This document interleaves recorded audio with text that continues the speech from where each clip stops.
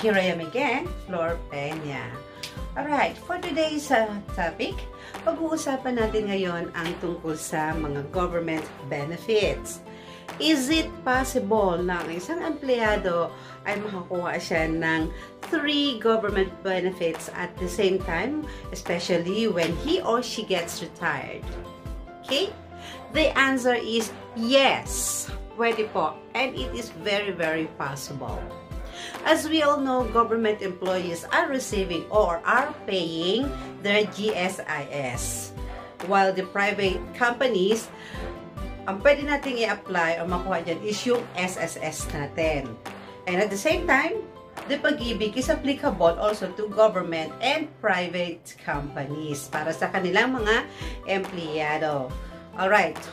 Mandatory kasi ang GSIS para sa mga government uh, employed. Pero guys, pwede tayong mag-apply ng SSS natin.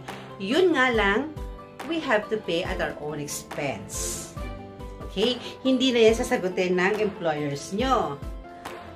Pero pag kayo ay nasa private, hindi naman kayo pwede mag-apply ng GSIS. Ang pwede nyo i-apply is yung sa SSS lang at saka yung sa pag-ibig. Sa government, GSIS at pag-ibig pwede. And pwede rin yung SSS. Ang tawag doon is magkakaroon kayo ng voluntary contribution. So, when you get retired, tatlong benefits ang makukuha nyo. Kaya guys, bata pa ngayon na naka-employed, nasa government kayo, magbayad din po kayo ng SSS nyo. Mag-apply po kayo. Din voluntary yon. So, walang counterpart ang uh, employer nyo. So, kayo lang lahat ang magbabayad nun. Para, patulad sinabi ko kanina, when you get retired, is tatlo ang matatanggap nyo. Okay? So, samantalahin nyo na yan. So, is uh, very favorable sa mga government employees. Okay? Kahapon, galing ako sa Pag-ibig Fund. You know why, guys? Kasi, when I retired, uh, uh, kinuha ko na yung aking Provident Fund. Yung lahat ng hinulog ko, simula't simula pa hanggang sa na-reach ko itong uh, retiring age nito.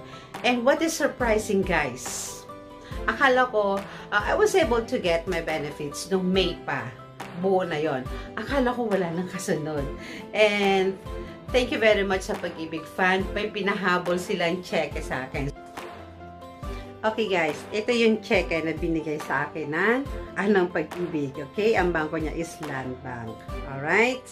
So yan, it was dated July 18, 2022 and nakuha ko siya July 20.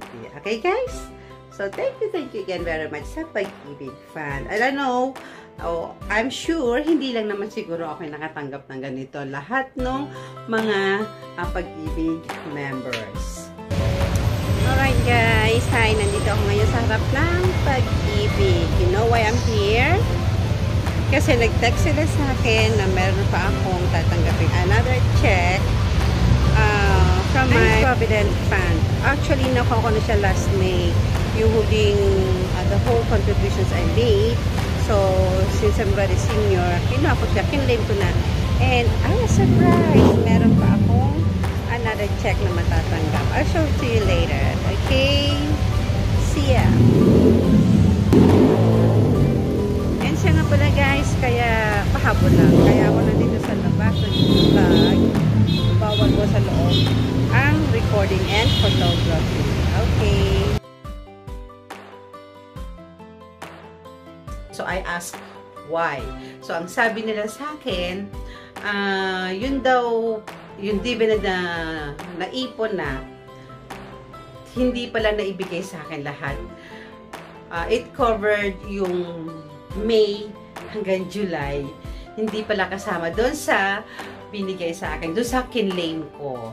Okay, so, tuwan-tuwa naman ako, kahit maliit lang naman ang amount, and uh, I was so happy na nagpahabol pa rin man, pa naman si pag-ibig. O, ba nakakatuwa 'yon? Kaya, guys, uh, una-una naka-receive kasi ako ng text. Kala ko, uh, fake kasi private number eh. I was wondering, I was thinking, baka naman scam na naman ito. Or hindi naman totoo. Karoon ako ng kutob na baka nga naman totoo. So, I went to Pag-ibig and pinakita ko lang guys yung text. Wait, I'll show you the text.